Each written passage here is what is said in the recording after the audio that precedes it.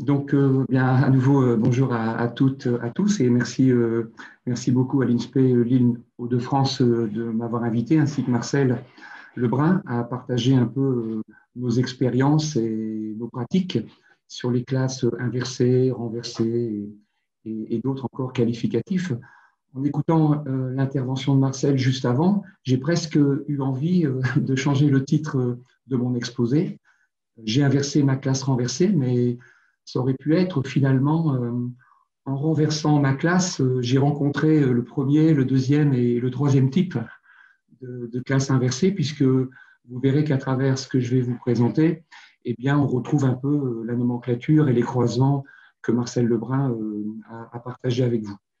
Donc, un des objectifs de la classe renversée, telle que je l'ai montée, qui a aujourd'hui 6 ou 7 ans, hein, ça fait 7 ans que je la pratique, c'était euh, de, casser un peu ce, transmissif euh, euh, que j'utilise en cours et, que j'aime utiliser. Donc déjà, moi, je ne suis pas un enseignant qui changé de méthode parce qu'il était lassé de, dispenser le cours en magistral. J'aime toujours faire du cours magistral, j'en fais toujours, sauf qu'il se perturbe un peu de temps en temps avec des, méthodes, je dirais, plus, innovantes. Donc, la, la, proposition qui avait été faite à mes étudiants il y a déjà 6 ou 7 ans et que je continue à leur faire, c'est de leur dire euh, est-ce que vous souhaitez que je continue à vous faire cours comme ça, de manière scolaire, ou est-ce que vous n'auriez pas plutôt envie qu'on travaille un peu différemment, euh, en mode un peu plus collaboratif? Donc, le principe de la classe renversée, et vous verrez que on a utilisé le terme renversé dans le sens où dans cette classe, euh, les étudiants deviennent professeurs et le professeur devient élève. On renverse vraiment les, postures de manière importante, même si à des moments, euh, chacun peut reprendre plus ou moins euh, sa place normale.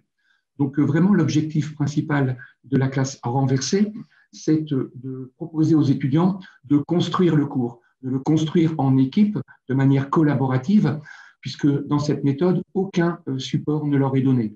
Aucun livre, aucun site, aucune adresse, aucun document juste les, titres des chapitres. bien sûr, il y a un programme à respecter.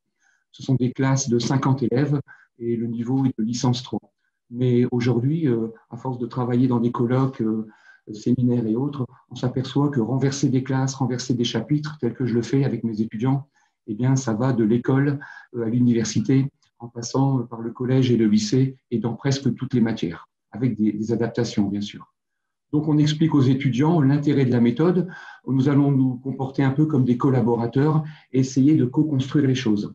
Et même aussi, je leur dis, comme Marcel, étonnez-moi euh, que le chapitre sur le coronavirus ou le chapitre sur la vaccination contre le virus de la grippe euh, puisse être un peu différent que le sempiternel chapitre que j'ai l'habitude de, produire en cours.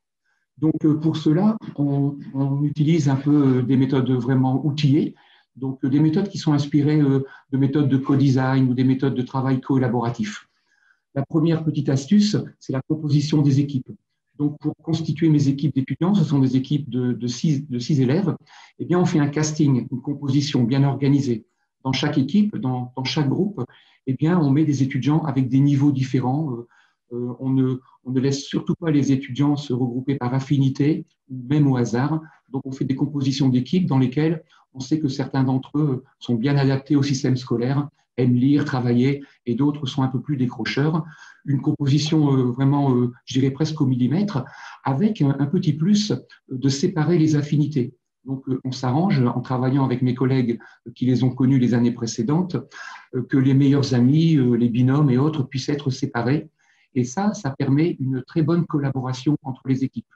Autrement dit, euh, quand on sépare un peu ces affinités, on s'aperçoit par exemple que l'équipe 1 euh, collabore vraiment très bien avec l'équipe 2 ou l'équipe 3 parce qu'ils sont libres pendant la classe. Tout est, tout est en open space. Ils sont libres de pouvoir aller d'une équipe à l'autre et de s'enrichir mutuellement. C'est pour la production des cours hein, qu'ils sont vraiment en casting. Ensuite, il y, a, des méthodes, vous verrez, quand, quand, je vais inverser ma classe renversée, où là, je leur permets, et ils le font de bon cœur, de se regrouper par affinité.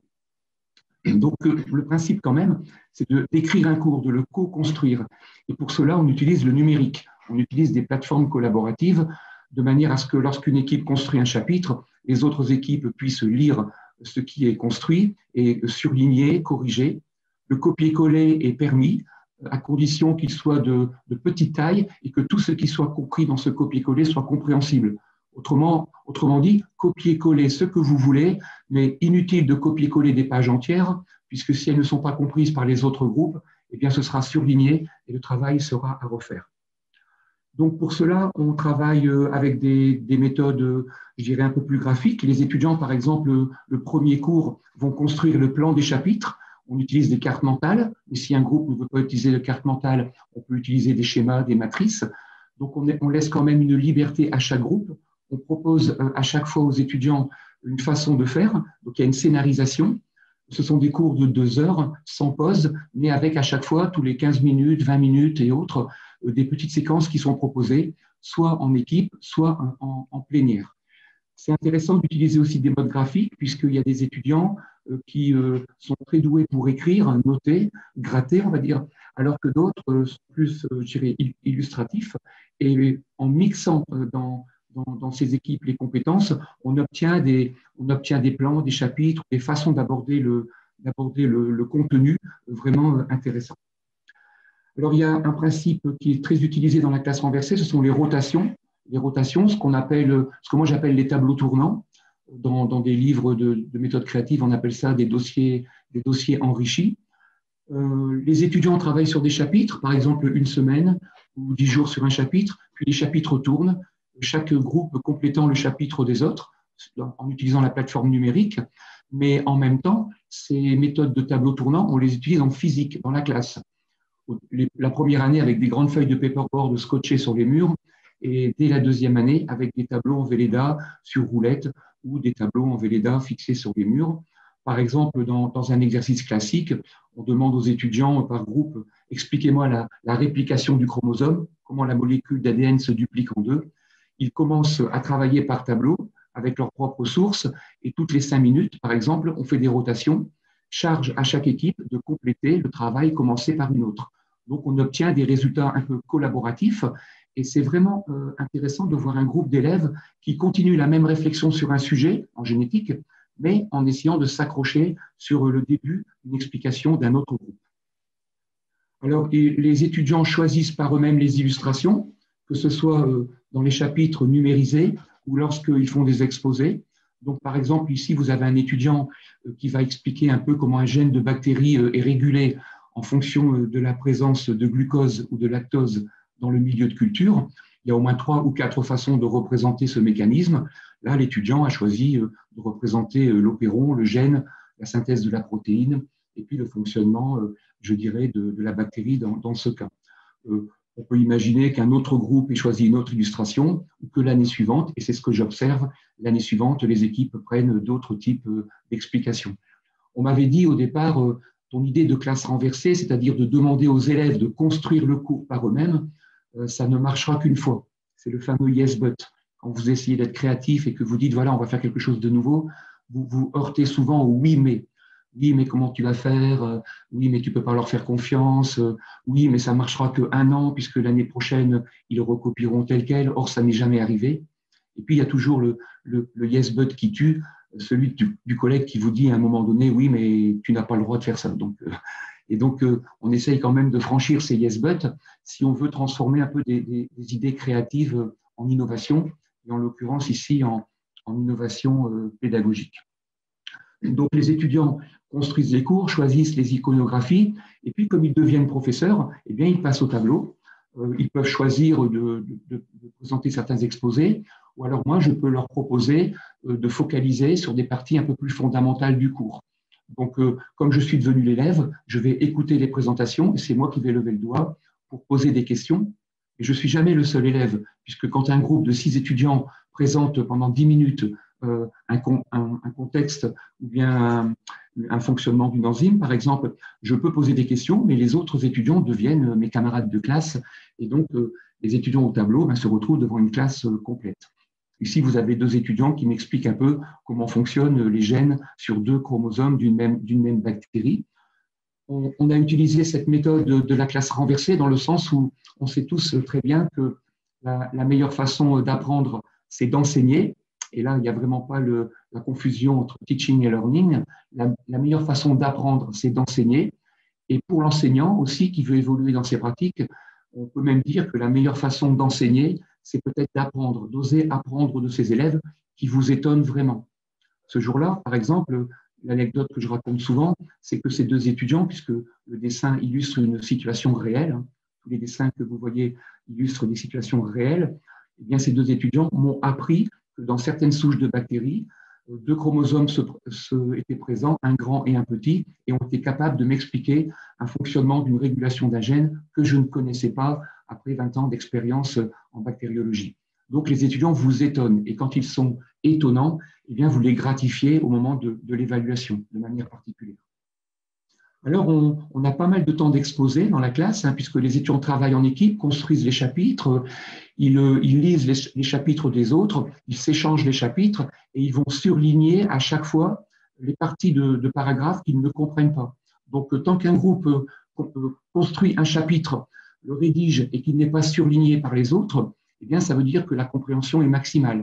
Et moi, étant étudiant, eh bien, je lis ces chapitres et je pose des questions mais arrive toujours un moment où il faut exposer. On n'a pas le temps de, faire tout le cours au tableau. Donc, on choisit des parties de chapitres particulièrement importantes et on propose des modes de présentation euh, originaux, parce que les enseignants savent souvent que faire travailler des élèves en groupe, ça pose pas trop de problèmes. Par contre, au moment de la présentation, c'est un peu plus problématique, parce qu'on écoute le groupe 1, on écoute un peu le groupe 2, et puis au moment où passe le groupe 3 au tableau, eh bien, l'attention diminue, et il y a même des étudiants qui n'écoutent pas, soit parce qu'ils sont déjà passés au tableau, ou alors parce qu'ils sont toujours en train de préparer euh, leur présentation euh, euh, qui, n'est toujours pas arrivée.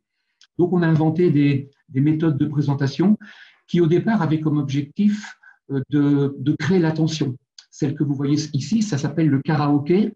Le karaoké, on demande à un élève de l'équipe 1 de présenter, sans qu'il le sache, trois secondes avant, un exposé préparé par l'équipe 2.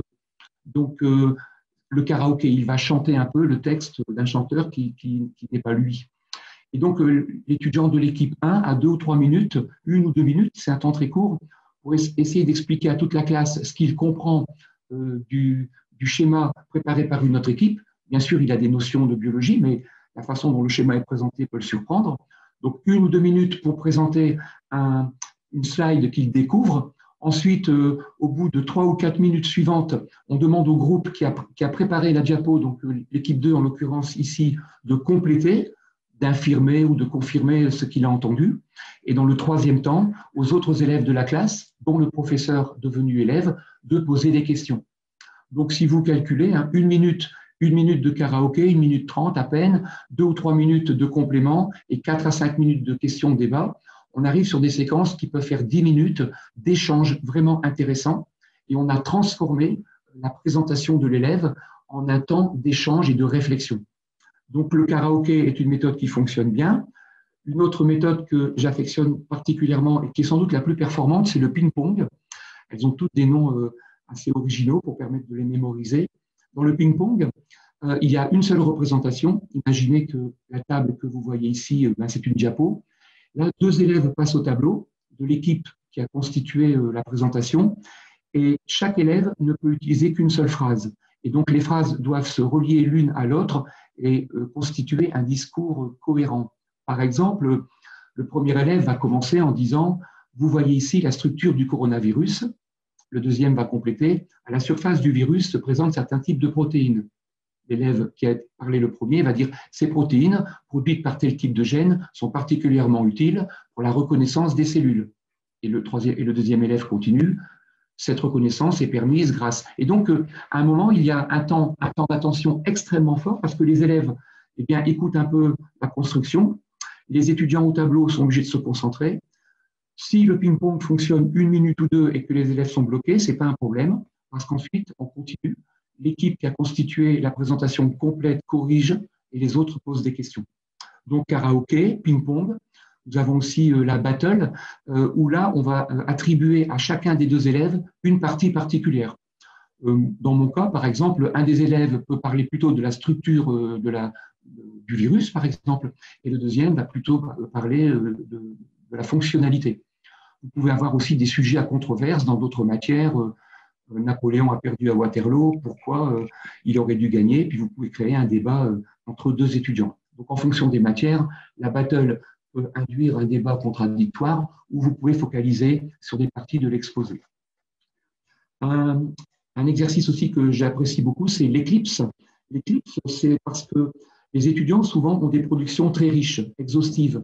Et donc, euh, sur une diapo ou un ensemble euh, d'illustrations, vous avez par exemple une cinquantaine d'informations.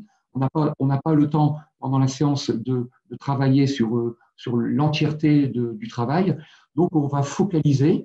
Donc, c'est moi qui choisis au moment de la présentation, donc dès qu'elle est projetée, de dire aux étudiants, c'est seulement ce point-là que j'ai envie que vous m'expliquiez. Pour le reste, on peut vous poser des questions en utilisant un chat ou on peut discuter en groupe. Donc l'éclipse, c'est vraiment un, mode de présentation de débat intéressant. Vous pouvez focaliser sur un point majeur du cours et en même temps euh, permettre aux étudiants de présenter euh, l'entièreté de, leur recherche. Un autre exercice aussi qu'on utilise soit avec les étudiants ou moi-même en cours, quand je, reprends des cours de, de séances un peu plus classiques, ça s'appelle trouver l'erreur. Et ça, c'est un exercice très puissant que vous pouvez même utiliser si vous ne renversez pas la classe. Autrement dit, vous dites à vos élèves, et je le, fais, je le fais faire aussi par mes étudiants, je vais vous présenter pendant 10 minutes un mode de fonctionnement. Donc, je vais vous expliquer un mécanisme particulièrement important du cours. Et pendant ces 10 minutes, je vais introduire sciemment une ou deux erreurs dont vous n'aurez pas les corrections. Charge à vous, en travaillant en équipe, de trouver quelles sont ces erreurs. Et en général, quand c'est moi qui pratique euh, trouver l'erreur, je place une erreur un peu visible au début de l'exposé, au bout d'une minute, et la deuxième erreur au bout de 10 minutes ou 12 minutes à la fin de l'exposé. Et là, je vous garantis que vous obtenez un taux d'attention maximal puisqu'il n'y a pas de correction. Ceci dit, depuis 6 ou 7 ans, les étudiants trouvent toujours par équipe les erreurs que l'on a dissimulées. Un autre exercice qui est aussi très intéressant et qu'on utilise en colloque aussi, en congrès avec des chercheurs euh, ou des enseignants, puisque l'outillage de la classe renversée peut permettre aussi euh, d'avoir des idées dans le cadre de travail avec des chercheurs, des, équipes d'enseignants, mais aussi avec des entreprises, et inversement, c'est le PowerPoint muet. Le PowerPoint muet, il y a une projection qui est faite. Voilà, ce sont des mathématiques sur ce dessin, mais on peut faire la même chose avec de la génétique le PowerPoint est projeté sur le tableau et euh, là, interdiction de parler pendant une à deux minutes. Et chaque groupe d'élèves doit essayer de, noter ce qu'il comprend de la projection. L'équipe qui a euh, préparé le PowerPoint attend et au bout de deux à trois minutes, les groupes d'étudiants vont s'exprimer et l'élève que vous voyez lever le doigt ne pose pas sa question personnelle, il pose obligatoirement la question préparée en équipe.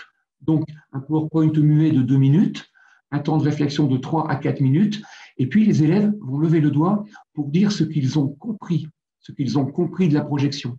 Et ensuite, l'équipe qui a réalisé le travail va pouvoir dire c'est ce qu'on a voulu dire ou pas. Voilà, donc euh, plein d'exercices. Euh, au bout de quelques semaines et au fur et à mesure euh, de la construction des cours, les étudiants vont voter. Donc il y a un système de vote pondéré. Ils vont mettre des points, ils ont un, un pool de voix et ils vont répartir des points sur des chapitres pour les évaluer mais pas pour évaluer le niveau scientifique du chapitre, pour évaluer le niveau de compréhension qu'ils ont. Et donc, les chapitres qui obtiennent le plus de voix sont ceux qui sont le mieux compris par les autres étudiants, et inversement. Et la consigne est la suivante, c'est que pour l'examen, eh bien, ils savent que plus de la moitié des questions, plus de la moitié des questions seront focalisées sur des chapitres les mieux classés, ce qui va obliger les étudiants dans la construction des cours à faire un effort pédagogique et ce qui va obliger aussi les étudiants à évaluer de manière euh, sérieuse euh, le travail des autres. Et en fin euh, de séance, à la fin de chaque séance, donc j'ai à peu près une 25 à 30 heures de cours, ça correspond à 12 à 13 séances.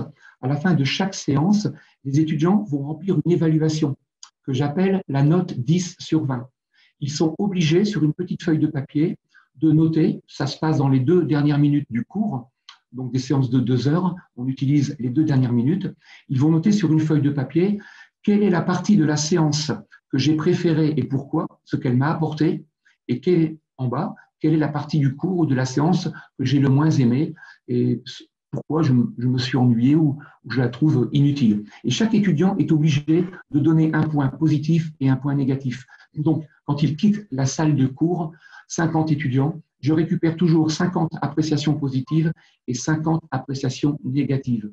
Et ce sont toujours avec les appréciations négatives que j'arrive à faire évoluer, améliorer les séquences suivantes. Alors, euh, ça, c'est de la classe euh, inversée, euh, pardon, renversée. Vous voyez, je, je, finis par m'embrouiller un peu. C'est de la classe renversée. Les étudiants construisent le cours, ils deviennent professeurs, le professeur devient l'élève. Et à force d'avoir voulu transformer un peu cette classe en une sorte de petite start-up, petite entreprise qui crée de la connaissance et qui produit des chapitres, eh bien, euh, au bout de la deuxième année, j'ai obtenu mon premier mouvement social, c'est-à-dire des étudiants qui sont venus me voir euh, à plus de la moitié du cours. On était aux deux tiers, euh, aux deux tiers du semestre en me disant, et, pas n'importe quels étudiants en fait, les 10 à 15% d'étudiants qui n'aiment pas l'innovation pédagogique. Donc les étudiants qui ont, provoqué ce mouvement social, cette petite manifestation, eh bien, étaient des étudiants adaptés au cours magistral, à l'enseignement académique, souvent des élèves avec de très bonnes notes, qui adorent écouter un prof, travailler chez eux, faire des fiches, répondre à des questions, connaître le programme et avoir de très bonnes notes. Et donc ces étudiants, euh, ça représentait 5%, entre 5 et 10% des élèves, donc euh, sur une classe de 50, m'ont dit euh, Bon, c'est bien beau, tout ça, on aime bien, mais finalement, on a aussi envie euh, de faire du magistral. Ce qu'ils qui demandaient déjà dans les séances, hein, c'est-à-dire qu'ils n'ont pas attendu les deux tiers du cours pour me dire remettez-nous un peu de magistral, puisque dans chaque séance de cours de deux heures, il y avait toujours des moments où on arrêtait la classe renversée dix minutes ou un quart d'heure et je pouvais euh, leur produire un cours magistral sur une partie du chapitre. C'était presque une réponse à leur demande. S'il vous plaît, monsieur, pendant, pendant 10 minutes ou 15 minutes, est-ce que vous ne pouvez pas redevenir un peu normal, reprendre votre, votre place et nous expliquer un, mécanisme Ce que je faisais?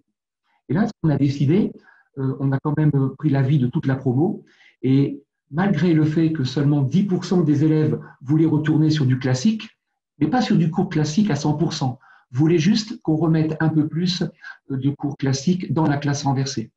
Donc, j'ai décidé avec eux, et je le fais maintenant depuis cinq ans et demi, de renverser, ou plutôt d'inverser ma classe renversée. Donc, de faire un peu le type 1 euh, de la classe inversée de Marcel Lebrun, le, fameux type euh, qui dit, euh, même faussement, le cours à la maison et les devoirs en classe. Sauf que le cours à la maison, c'était la classe, la classe renversée. Donc, on va, on va faire des devoirs en classe, on va faire des devoirs en classe, mais sur le cours que vous avez co-construit. Donc, malgré le fait que je leur proposais du type 1 de classe inversée, je n'ai eu aucun problème. Aucun étudiant ne m'a dit Monsieur, on n'a pas lu le cours, on n'a pas compris, on n'a pas eu le temps, puisqu'ils avaient déjà tous co-construit les chapitres. Et donc, les étudiants ont préparé des questions, ont préparé des mises en situation et les ont présentées à l'enseignant. Moi, ça me permettait, par exemple, de classer leurs demandes en trois catégories. Les questions auxquelles je ne répondais pas parce qu'il était assez facile de les trouver dans la bibliographie des questions euh, auxquelles je répondais en prenant des séquences de 5 à 6 minutes parce que j'étais sans doute le seul à être capable de leur donner rapidement des explications. Et puis un troisième type de questions que l'on pouvait travailler ensemble et que par exemple le groupe 1 pouvait utiliser en réponse au groupe 2. Donc ici, vous avez par exemple l'équipe 3 qui est en train, de répondre à une question euh, préparée par l'équipe 4 et nous allons donc euh, construire ensemble à la fois les éléments de réponse euh, le, brouillon de la bonne réponse, les schémas, de manière à ce que les étudiants soient en étude de cas, mais le cas étant la question d'incompréhension produite par un groupe pour un autre. Et puis, ce que je faisais souvent euh, en cours magistral, c'était par exemple d'attirer l'attention euh, de mes étudiants sur des sujets assez, assez fondamentaux. Exemple, dans le cours de génétique, il y a au moins une dizaine d'incontournables. C'est-à-dire que ces prérequis-là, il les faut absolument pour passer dans le niveau supérieur. Et c'était souvent des points que je focalisais dans le cours. Et vous savez très bien que vous pouvez dire à des élèves que ce que vous allez leur raconter pendant 20 minutes ou 15 minutes est hyper important. Beaucoup d'entre eux, au bout de 2, 3, 4 ou 5, peuvent avoir euh, décroché. Donc, j'ai utilisé une méthode que j'ai appelée l'imprégnation et qui marche assez bien. C'est-à-dire que si, par exemple, je dois expliquer à des élèves comment s'exprime un gène de bactérie, par exemple, euh, dans, dans un cas particulier. Euh, je ne sais pas, le, par hasard, le, gène de l'opéron lactose.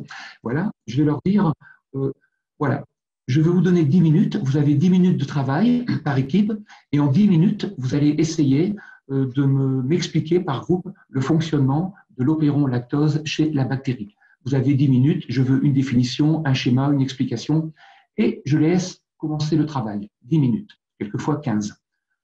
Seulement, au bout de 2 à 3 minutes, alors je passe entre les groupes, au bout de 2 à 3 minutes, alors qu'ils ont à peine commencé, quand je vois qu'ils commencent à rédiger une définition, trouver un schéma, je les arrête immédiatement et je leur dis stop. Finalement, j'ai changé d'avis, je vais vous le faire en 10 minutes. Écoutez-moi, ça va être beaucoup plus clair, simple et complet. Et je fais mon explication pendant 10 minutes telle que je l'avais prévu. Et là, je peux vous assurer que j'ai 100% d'attention parce que les 50 cerveaux étaient déjà enclenchés depuis 2 à 3 minutes sur l'opéron lactose, la structure, la fonction. Et même s'ils n'avaient fait que débroussailler, commencer à travailler le sujet, eh bien, le fait que je les emmène pendant 10 minutes sur un sujet dans lequel leur cerveau est imprégné et imbibé depuis 2 à 3 minutes, eh bien, euh, on obtient un effet maximal. Quand je dis un effet maximal, ce n'est pas juste une impression. J'ai une doctorante qui travaille avec moi, qui s'appelle June Shrishinda, Marcel Lebrun d'ailleurs est un, promoteur de thèse, on dirait un directeur, co-directeur de thèse. Eh bien, dans le cadre de sa thèse, elle étudie le niveau d'engagement et de motivation des élèves dans les méthodes collaboratives. Donc, elle observe mes étudiants pendant la classe. Nous sommes ses cobayes, entre guillemets eh bien, elle note, elle numérote, elle interroge, et c'est elle qui me fait le retour que le niveau d'attention des élèves dans ces exercices collaboratifs est très fort. Alors, les étudiants ne font pas que construire le cours, ils vont construire aussi les évaluations. Donc, ils construisent les questions, ils construisent les barèmes et ils interrogent le prof. Donc, dans la classe renversée, le prof a des devoirs à faire à la maison. Donc, je n'ai plus de copies à corriger, mais j'ai des devoirs à faire. Et donc, je réponds aux élèves avec des bonnes ou des mauvaises réponses et ils doivent me corriger. Là aussi, mes collègues me disent, je vois pas trop l'intérêt de faire ça. En fait, il suffit de demander aux étudiants, est-ce que c'est facile ou pas d'interroger un prof? Premièrement, ils vous répondent, ah non, puisque d'abord, il faut connaître le cours, évidemment, un cours que l'on a construit soi-même, amélioré avec l'équipe. Ensuite, il faut être capable de construire une question, de construire un barème, et puis de corriger l'enseignant. Donc, euh, la meilleure façon d'apprendre, c'est peut-être aussi euh, d'essayer d'évaluer la compréhension des autres et pas seulement juste d'enseigner. Donc, l'évaluation fait, partie euh, entièrement de, des méthodes qu'on utilise et je classe les questions préparées par mes étudiants à différents niveaux, des questions courtes, des questions de connaissance, des questions de synthèse. En fait, la, typologie habituelle du cours classique. Donc, les étudiants ont quand même des séances de contrôle continu donc, à des moments donnés, je peux leur donner 10 minutes de travail sur un sujet, ramasser des copies et les noter. J'ai introduit un petit exercice sympathique qui s'appelle la tricherie obligatoire et qui marche très bien. Les étudiants ont 10 minutes par équipe pour répondre à une question. 10 minutes et au bout de 10 minutes, ils doivent m'envoyer leur réponse par mail. Tout mail non reçu au bout de 10 minutes donne la note de 0 à la question. Donc les étudiants s'organisent pendant les 10 minutes, ça peut être 15 hein, bien sûr, et au bout de 7 ou 8 minutes, donc quand il leur reste 3 ou 4 minutes avant la fin, je demande à chaque groupe de désigner l'un d'entre eux pour aller chercher les informations dans les autres groupes. Donc ils sont connectés, hein, ce n'est pas du contrôle de connaissances. Donc chaque groupe peut avoir une sorte de messager qui va aller dans les autres équipes, chercher de l'information, charge à lui de la ramener à son équipe de départ de manière à enrichir une partie de la réponse. Et le prof, qui n'est plus là pour surveiller, fait partie des ressources. Donc, dans mes exercices euh, d'interrogation, euh, surprise ou pas, l'enseignant devient une ressource exactement comme l'Internet, comme les livres, puisque mes étudiants aussi utilisent des livres. Donc, euh, les étudiants doivent être capables de solliciter l'enseignant comme ressource et de lui poser des questions, je dirais, intelligentes, de manière à compléter leur copie. Voilà, nous avons aussi un, type de contrôle continu qui marche super bien. Je, n'ai pas trop le temps de détailler euh, aujourd'hui, mais vous pourrez le retrouver euh, sur mon blog et dans des, dans des documents. Ça s'appelle euh, le devoir surveillé, non surveillé, qui ne finit jamais. Pourquoi il ne finit jamais? Parce que les étudiants ont juste une heure par équipe pour remplir une copie. On leur pose une question, ils remplissent une copie numérique, la copie n'est pas ramassée au bout d'une heure, pourtant l'épreuve dure une heure. Donc ils sont interrogés par équipe avec document pendant une heure. Les copies ne sont pas ramassées au bout d'une heure puisqu'elles sont dans le cloud. Et pendant toute la semaine, voire les dix jours qui suivent le contrôle continu, les étudiants peuvent enrichir leur copie, la modifier. Ils ont juste un cadre qui est donné. Donc un peu comme l'a expliqué Marcel, une très grande autonomie, mais dans un cadre quand même qui est fixé. La copie ne doit pas dépasser, par exemple, quatre pages, maximum deux illustrations, un lien film, et puis de, de la bibliographie. Donc, si les étudiants enrichissent leur copie avec une nouvelle donnée à la maison, eh bien, ils doivent retirer des données moins, performantes. Donc, la quantité n'est pas privilégiée, c'est la qualité du travail qui est privilégiée. Enfin, pour l'évaluation, eh bien, j'ai, aboli euh, dans, ma classe inversée et renversée la, note sur 20. Donc, je ne note plus mes étudiants avec des notes sur 20, mais je continue à leur mettre des notes collectives. Mais j'utilise des scores, j'utilise des points. Donc, euh, chaque colonne devant vous est, un, est, une colonne dans un, dans un fichier Excel une colonne qui est dans un fichier Excel, et vous voyez par exemple que plus un étudiant capitalise de points pendant mes séances, et eh bien plus sa colonne augmente. Donc, je donne des points par équipe en fonction de la qualité et de la quantité de travail fourni, mais aussi du respect des, livrables. Et puis, je donne aussi des bonus, jamais de malus, mais des bonus en fonction euh, de euh, l'implication particulière d'un élève par rapport, euh, à, un autre. Donc, les étudiants ont des notes collectives, charge à eux de travailler en équipe. Si l'un d'entre eux ne travaille pas, ben, il faut le mobiliser, puisque vous avez la responsabilité de l'entièreté de l'équipe. Ceci dit, je vais quand même essayer avec, avec eux, et je leur dis, de repérer ce que j'appelle gentiment les, passagers clandestins. Donc le passager clandestin, vous avez compris, hein, c'est l'étudiant qui profite de la dynamique du groupe pour avoir, euh, par exemple, les 250 points euh, qui seront transformés en notes sur 20 par la suite, mais euh, qui ne fournit pas le travail. Donc les étudiants vont devoir repérer entre celui ou celle qui contribue un peu moins, D'ailleurs, ils vont aussi repérer celui ou celle qui contribue un peu plus. Donc, je ne limite pas cette évaluation à la détection des passagers clandestins, mais aussi à la détection de celles et ceux qui s'impliquent davantage. Et pour cela, j'utilise un test en présentiel qui est adapté euh, d'une méthode d'entreprise qui s'appelle le 180 degrés, une méthode qu'on pratique en entreprise. Donc là aussi, pour le résumer euh, de la manière la plus courte possible, les étudiants euh, vont remplir de toutes petites fiches, beaucoup plus petites que celles que vous voyez sur ce dessin, et ils vont devoir, dans un premier temps, s'auto-évaluer. Donc, ils vont s'auto-évaluer avec une grille que je leur, que je leur produis, s'auto-évaluer dans quelle a été leur contribution personnelle, par exemple dans la recherche d'informations, dans la rédaction du chapitre, dans la communication avec les autres, dans la constitution des questions, etc. Donc, il y a à peu près cinq euh, activités liées à des compétences majeures. Ils vont se mettre un niveau de compétences. Alors, on peut utiliser des niveaux de 0 à 5 avec à chaque fois une, explication, ou on peut utiliser des niveaux de type euh, non acquis, acquis, euh, maîtrise, expertise. Il y a plusieurs systèmes. Donc, ils s'auto-évaluent et ensuite, ils vont évaluer la perception qu'ils ont du travail des autres et non pas évaluer les autres. Donc, le, test est fait en présentiel, il est expliqué, décortiqué avec les étudiants. Vous n'êtes pas en train d'évaluer vos camarades de classe, vous êtes en train d'évaluer la perception que vous avez du travail des autres par rapport au vôtre. Et donc, dans la deuxième partie du test, ils ne vont plus utiliser ma grille, ils vont juste se dire, est-ce que, par exemple, Timothée ou Mathilde, dans mon groupe, pour cette action-là, je pense qu'il travaille autant euh, que les autres, ou alors je pense que moi, je travaille plus que lui. Voilà. Donc, ce qui fait que dans la réalité, les étudiants vont me fournir un peu des scores que je vais pouvoir ensuite moyenner. Je ne leur donne pas le résultat du test, mais j'obtiens des histogrammes. Ici, vous avez par exemple le, résultat d'un 180 degrés de six équipes, et ça, m'est égal de savoir s'ils ont des scores de 5 ou de 3. Ce qui est important, c'est le delta. Autrement dit, ici, vous regardez dans la première équipe, il y a très clairement un passager clandestin parce que sa cote est beaucoup plus basse que les autres. Là, vous voyez à peu près 1, 2, 3, 4 ou 5 passagers clandestins. Eh bien, je vais croiser la perception des étudiants avec ma propre perception, puisque moi-même, connaissant les élèves et travaillant avec eux, je croise ma perception avec la leur. Je peux vous dire que chaque année, sur un groupe de 50 étudiants, j'ai toujours 4 à 5 passagers clandestins et ça croise toujours avec ma perception. La seule chose qui peut être plus intéressante, c'est que ça peut arriver qu'un étudiant que je n'avais pas euh, repéré comme passager clandestin et le soit effectivement au vu des autres.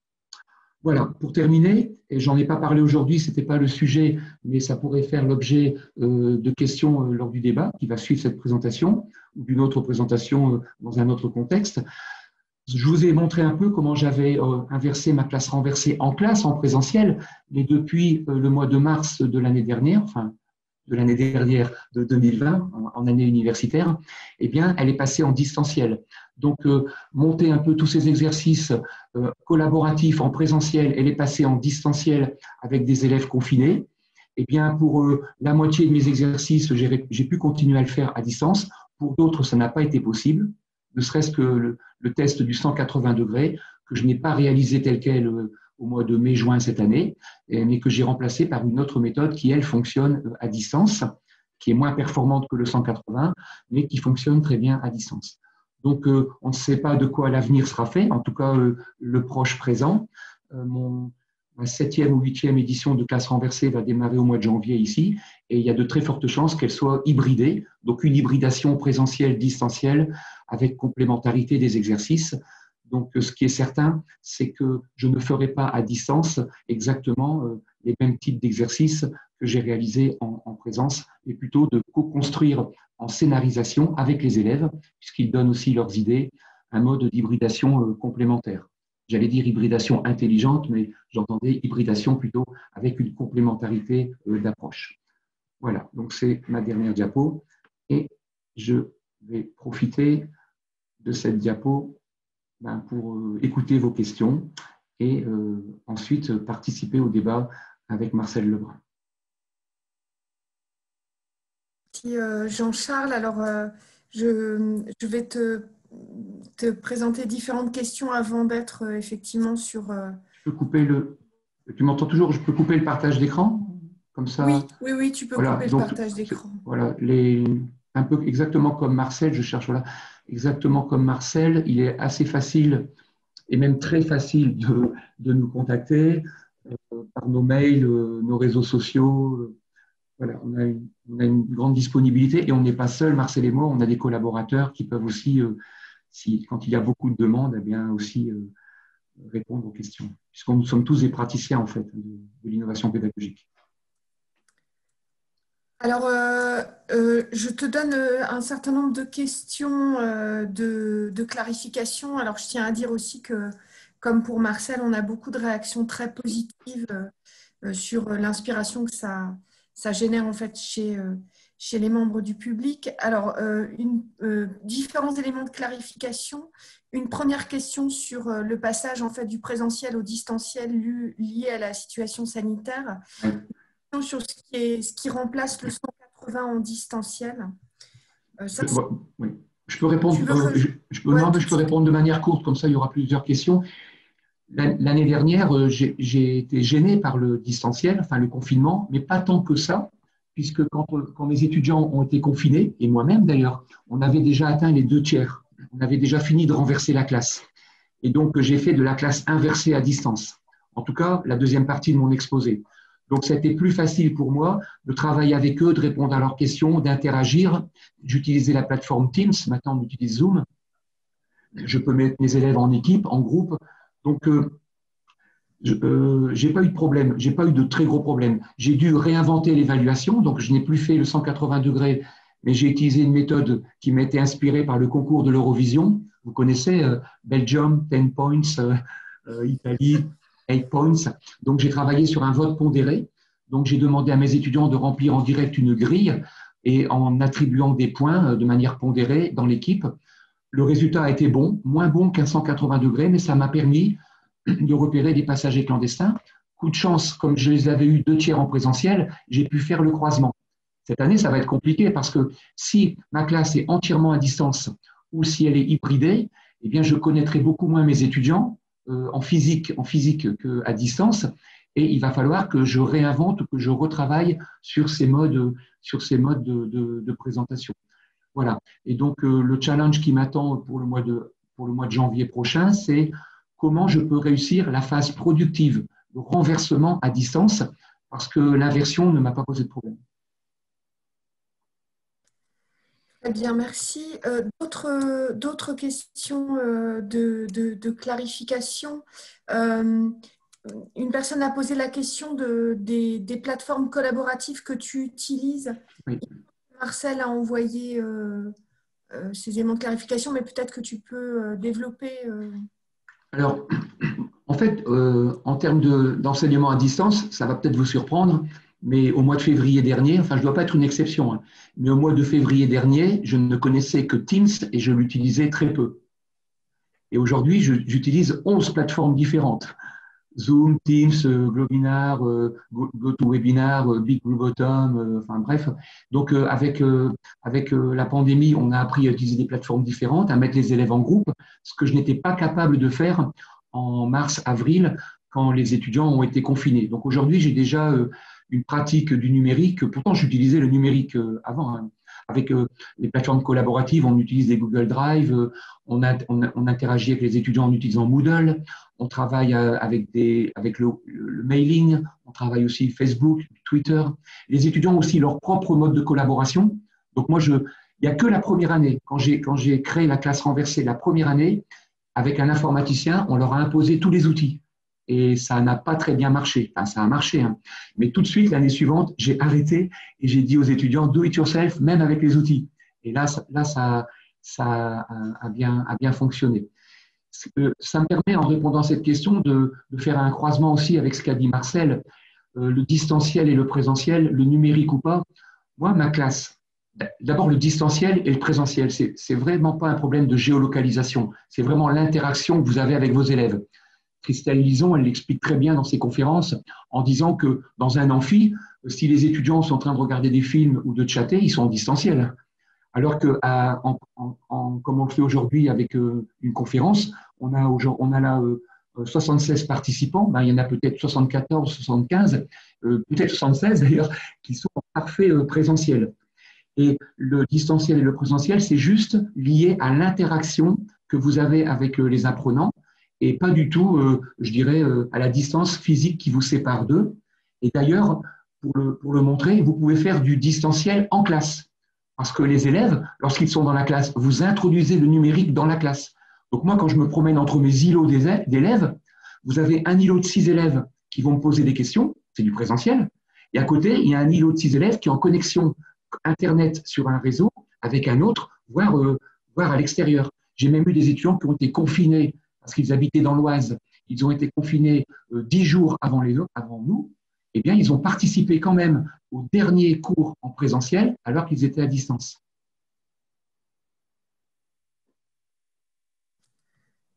Merci. Euh, alors, euh, c'est celui-là où je pense où Marcel a répondu sur le recueil des méthodes de présentation utilisées, karaoké, ping-pong, battle.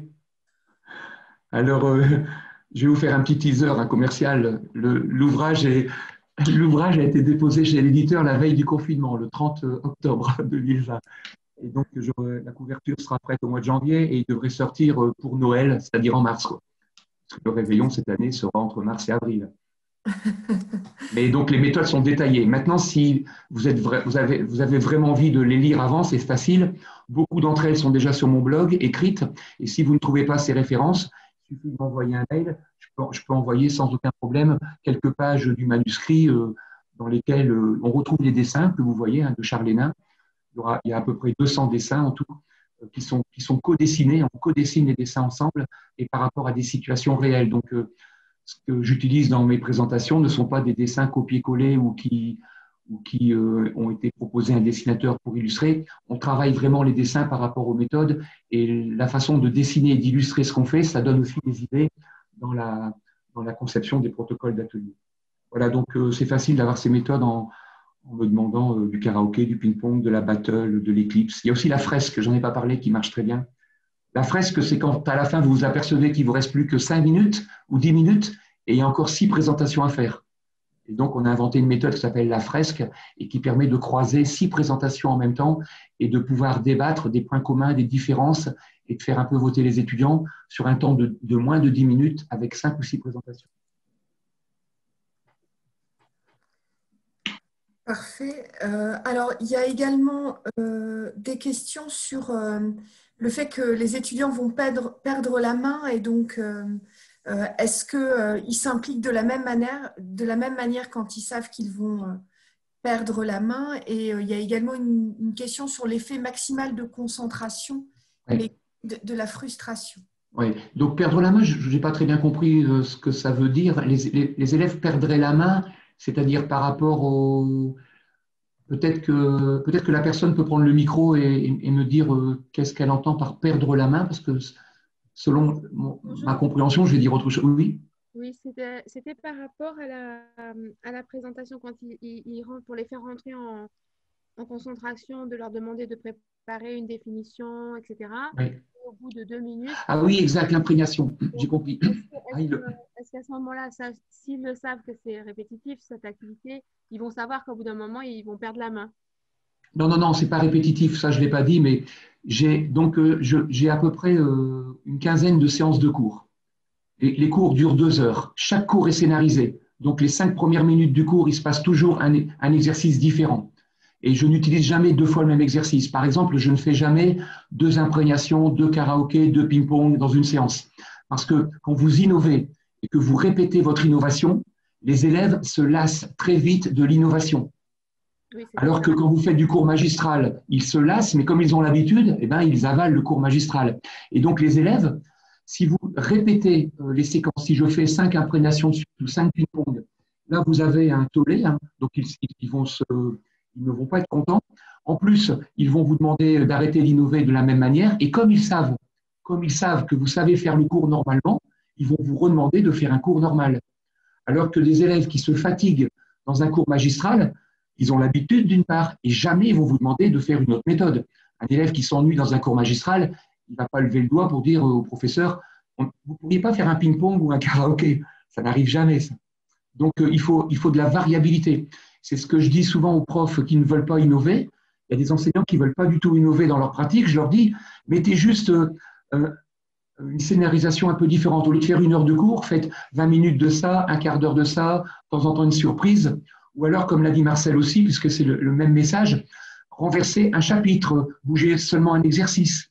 Quel est le chapitre que, avec lequel vous avez le plus de difficultés? Ben, Créer l'innovation sur le chapitre qui vous pose le plus de problèmes. Parce que de toute façon, comme ce chapitre pose des problèmes, même en innovant, ça ne peut pas être pire qu'en faisant de manière magistrale. Donc, euh, c'est important d'avoir une variabilité dans vos exercices. Une variété plutôt.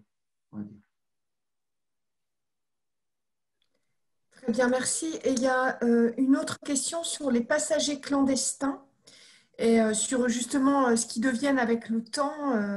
en fait, est-ce que ces passagers clandestins le deviennent plus ou moins non, le, problème des passagers clandestins, moi j'ai des discussions avec eux, euh, comme, comme, je fais ces évaluations aux deux tiers. D'abord, je les ai repérés dès le début.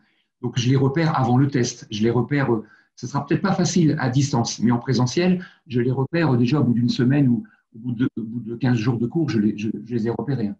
Donc euh, ces passagers-là, je les, repère et quand le test arrive, je discute avec eux pour voir un peu comment les aider. Euh, le groupe, donc le groupe euh, n'a pas, besoin, du test pour les repérer. Donc, des fois, ça peut m'arriver de. J'ai pas expliqué un peu toutes les méthodes aujourd'hui, mais j'utilise aussi ce qu'on appelle des permutations, des ventilations, des rotations. J'extrais des élèves d'un groupe, j'échange de groupe, et je peux faire travailler, par exemple, deux passagers clandestins avec un élève qui est plus fort ou avec moi. Je constitue un groupe, et donc je, je les remets en mouvement. Ce que j'observe très clairement, c'est que avec cette méthode de classe renversée, euh, Marcel aussi l'a évoqué dans son, exposé tout à l'heure, ma méthode n'est pas faite pour que les élèves aient des meilleures notes en classe. Parce que, en fait, avec cette méthode collaborative, eh j'observe que les bons élèves, ça reste les bons élèves, le milieu, ça reste le milieu, et les élèves moins forts sont aux mêmes positions euh, en termes d'examen. Par contre, il n'y a pas de décrochage. Même les 10 à 15 des élèves qui d'habitude décrochent et se désintéressent de la méthode, à tout moment dans les exercices, ils, sont impliqués. Et donc, euh, c'est une méthode performante dans le sens où elle augmente les interactivités entre les élèves et elle, permet d'éviter le, décrochage.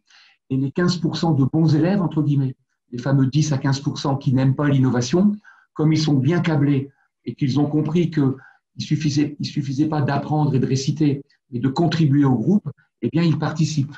Donc, effectivement, j'ai un problème avec 15% d'élèves, mais j'ai un problème avec 15% d'élèves qui sont de très bons élèves. Et donc, ils sont, je les implique dans le groupe. Alors qu'avant, quand je faisais 100% de cours magistral, j'avais aussi un problème avec 15% d'élèves. Mais cela, pour les remettre dans, dans, le cours magistral ou les exercices, c'était mission impossible. Très bien. Alors, je vous propose une dernière question de clarification. Puis ensuite, on passera à des questions donc, plus générales. Oui, très bien. Euh, donc, euh, quand, quand, tu dis aux étudiants euh, do it yourself avec les outils numériques, que en fait, c'est l'idée d'une dévolution des outils pour mieux s'impliquer. Est-ce que c'est en gros une stratégie Non, non, non, parce que on dit souvent venez avec en anglais c'est le BY by, by, comme with your, do with your own device, fais-le avec tes propres outils. Moi, mes, mes étudiants, quand vous venez dans ma classe, ils sont 50, ils utilisent des ordinateurs, des tablettes, des téléphones. Certains sont sur Google Drive, d'autres utilisent Facebook. Euh, ils, sont, ils sont habitués à leurs outils, ils connaissent bien plus les outils que moi. D'ailleurs, euh, pour vous donner une idée, les deux premières années, je leur demandais de m'envoyer les chapitres, de, je leur demandais de, de m'inscrire dans leur, dans leur Google Drive pour que je puisse les lire. Eh bien, depuis déjà trois ans, maintenant trois, quatre ans, ils créent eux-mêmes, ils créent eux-mêmes des tableaux avec des liens. Et donc, euh, je, reçois juste une page, tout est en hypertexte, j'appuie, je me promène d'un chapitre à l'autre. Quand j'ai un collègue qui me dit, mais tu as fait ça avec qui? Quel informaticien t'a aidé? Je dis, c'est les étudiants qui l'ont fait. Donc, les étudiants, je leur dis, euh, j'exagère un peu, je leur dis, je suis pas très bon en informatique, même si je suis aussi bon qu'eux, mais en tout cas, je leur dis, et donc ils me facilitent le travail. Donc ça leur permet aussi, euh, avant quand je leur demandais qui a déjà travaillé sur un document collaboratif, il y avait deux doigts qui se levaient. Aujourd'hui, depuis déjà deux, trois ans, quand je leur demande qui a déjà travaillé sur un document collaboratif, les 50 mains se lèvent. Donc j'ai plus ce problème-là. Donc c'est plus la, c'est ça, bring, bring with your own device, le BIOD en anglais. Merci Thierry. Euh, si, vous, si vous en êtes d'accord, je vous propose euh, du coup d'avoir un, d'avoir des questions en fait qui rassemblent un peu vos, vos deux interventions. J'en ai une première. N'hésitez pas à en mettre d'autres euh, en fait sur le chat. on vous demande comment vous êtes perçu par vos collègues enseignants et la pratique la plus courante des professeurs de, de fac des enseignants-chercheurs à l'université. Je ne sais pas qui prend la parole en premier. Ben, Charles et Marcel. Euh. On est, enfin, très court aussi, comme ça Marcel complétera, mais on est perçu, ça dépend par qui. Euh, on est, euh, moi, dans, l'université où, je suis, avec le groupe, donc avec Hémisphère, on a, qui est une sorte de laboratoire d'innovation pédagogique, on partage beaucoup avec les enseignants, donc on a une communauté de pratique. Donc par les gens, par les gens qui pratiquent l'innovation, quand on va dans des colloques comme le CLIC et autres, ben on est, perçu comme des gens qui, qui osons, qui expérimentons, qui innovons. D'ailleurs, je dirais c'est pas forcément positif, hein, parce que des fois, on est un peu trop perçu par nos fans, entre guillemets, comme des gens qui vont révolutionner le système, comme s'il fallait démolir l'ancien système. Donc, dans les gens qui apprécient euh, nos, innovations pédagogiques, on a aussi des gens qui aimeraient que tout le monde enseigne de la même manière, de cette manière-là. Et je trouve que si on, remplaçait 100% de cours magistral par 100% de classes inversées ou renversées, ça serait une catastrophe. Il faut vraiment hybrider et, et voilà. Et les profs qui, nous perçoivent comme des gens bizarres, en se disant jamais, vous dénaturez un peu la façon d'enseigner, ben, plutôt que de les stigmatiser, on les invite aussi à partager avec nous parce que on leur fait bien comprendre et on l'observe hein, que plus vous innovez en pédagogie, plus ça donne envie aux élèves de lire des bouquins, d'aller dans des cours normaux et de poser des questions euh, creusées à des profs qui n'innovent pas. Donc c'est vraiment un travail complémentaire. Et peut-être que l'hybridation, parce qu'il y a beaucoup d'hybridation, Marcel l'a montré, et moi je pense que l'hybridation fondamentale, c'est celle entre l'innovation pédagogique et l'enseignement académique. C'est ça l'hybridation qui est la plus forte. Et vous pouvez être académique à 80-90%, des fois il suffit d'innover à 10-15%, ça change tout. Marcel. Disons, oui, je, partage évidemment euh, beaucoup de choses. Alors, je dois dire que euh, la question de comment vous êtes perçu dans, votre faculté, dans l'environnement, euh, c'est une question quand même dont la réponse change avec le temps. il y en a certains qui ont décrit l'innovation, hein, puisque Jean-Charles vient de parler de cette hybridation, innovation avec les, les, pratiques traditionnelles, habituelles, etc. Il y en a qui décrivent ça avec différents temps. Hein. On avait cité le mot pionnier euh, tout à l'heure. Euh, il y en a qui disent, au début, on se sent comme dans une enclave. C'est-à-dire qu'on est dans l'enclave, soit tout seul à faire comme ça, et ça, ça m'est arrivé dans ma, ma, faculté. Euh, euh, de, dire, euh, les étudiants me disaient, mais ah, vous faites comme ça, mais les autres profs ne font pas comme ça, et on se sent vraiment seul. Et, même pire, j'avais des retours de, de jurys d'examen, etc., où on disait, ben oui, mais c'est normal, hein, chez, chez Lebrun, ben, tous les étudiants ont au-delà de 15, quoi. Ben oui, mais je, je, ne travaille pas pour avoir des étudiants en dessous de 10, quoi. Moi, je travaille pour que l'ensemble de mes étudiants réussissent. Mais en tout cas, on a ce sentiment d'être un peu enfermé dans une enclave. Et après ça, quelques années, ça, ça dépend des circonstances, on devient des sortes de têtes de pont. C'est-à-dire qu'on a percé quelque part un peu la muraille du système et d'autres enseignants commencent à vous dire oui, d'accord, mais euh, le yes but hein, de, Jean-Charles, mais comment vous faites pour ça et pour ça? Et puis on apprend que d'autres sont en train de, de la faire également. Évidemment, j'avais un statut particulier parce que comme j'étais conseiller pédagogique, j'étais un peu habilité pour, euh, euh, comment dire, former, si on peut dire, mes collègues à pratiquer des, méthodes actives. Et après l'enclave, la tête de pont, on a la, la pratique ancrée. C'est-à-dire qu'à l'heure actuelle, ben, j'ai appris dans ma faculté, il y a quand même peu ou prou, hein, je l'ai dit, on n'est pas obligé de tout inverser, de tout renverser, mais j'ai quand même euh, la moitié, on dirait, des enseignants de ma fac qui sont en train de faire euh, des méthodes inversées, renversées, un peu comme Jean-Charles en a parlé.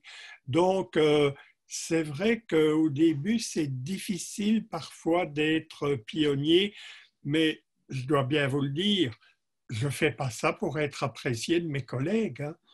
Je fais ça parce que j'ai eu envie de le faire dans mon enseignant, dans mon enseignement. Je me réjouissais de voir, parce qu'il faut bien le dire, hein, les motivations et les sourires de mes élèves. Avant, ils étaient dans l'amphi, un peu comme ça, en attendant que ça se passe. Et maintenant, ils viennent avec de temps en temps des choses qui vous étonnent. Hein, on a dit ce mot-là. Et qu'est-ce que j'étais content parfois de d'envoyer, euh, oui, oui, sur Facebook euh, des photos live de ce que mes étudiants étaient en train de faire. Et donc, je pense qu'il y a aussi, euh, arrêtons cette triste ou nette idée de, l'académique morose.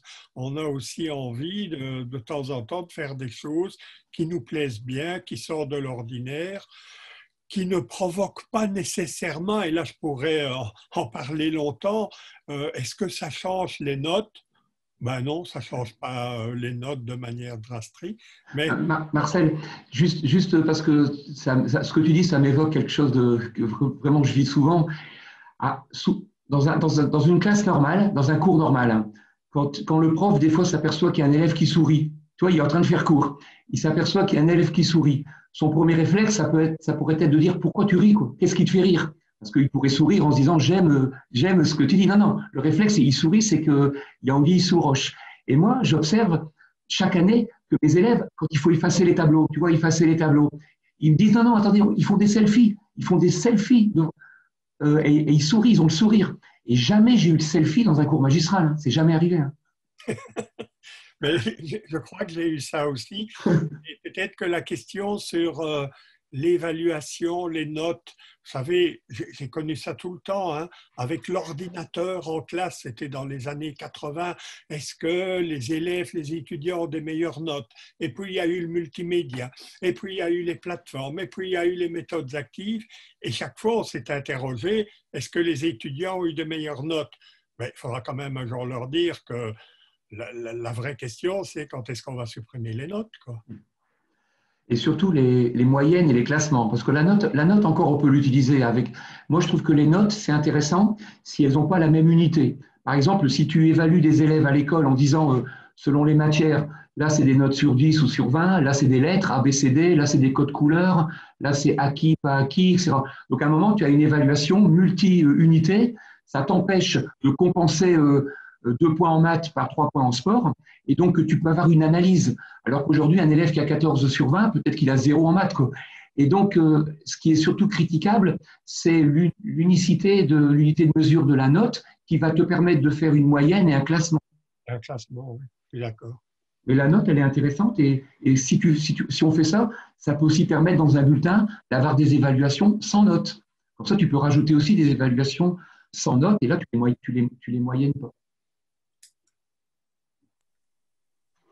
Alors, il y a une question qui a été posée euh, tout à l'heure, mais qui, à mon avis, euh, peut. Euh, enfin, vous pouvez y répondre tous les deux. des établissements et des services qui n'ont pas été cités, et, ça pose la question en fait de leur rôle à jouer auprès des. des, des J'ai pas, pas bien entendu, ça a coupé. J'ai pas entendu là. Ah, pardon. Euh, en fait, c'est la, question des établissements et des services pour soutenir en fait ces nouvelles pratiques, à part la création de bâtiments euh, nécessaires, mais comment est-ce que les différentes institutions euh, là aussi, je vais essayer d'être court parce que Marcel pourra compléter, mais il suffit pas d'un prof. Les profs peuvent enseigner dans leur classe hein, individuellement, donc ça, ça existe depuis très longtemps. Hein. Euh, des, fois, il y, a, des profs qui disent mais c'est pas nouveau tout ça. J'avais un prof qui le faisait ou parce qu'ils ont l'impression qu'on vend du nouveau, mais on vend pas du nouveau. C'est une, nouvelle façon de partager avec les autres. Il faut, il faut avoir des dynamiques dans les établissements, partager des expériences. Euh, comment ça peut être un laboratoire d'innovation pédagogique, mais des fois c'est c'est la cafétéria, un coin, euh, comment une discussion, des blogs, aller dans des événements comme les, les colloques, écouter des conférences comme aujourd'hui, faire des formations. Il faut qu'il y ait une dynamique qu'on appelle de communauté apprenante et que les gens partagent. D'ailleurs, c'est très intéressant parce que les, gens qui n'innovent pas en pédagogie vous posent des tas de questions, celles que Marcel a soulignées, des tas de questions. Hein. Est-ce que, est que, comment, comment, ils ne se les posent pas à eux-mêmes?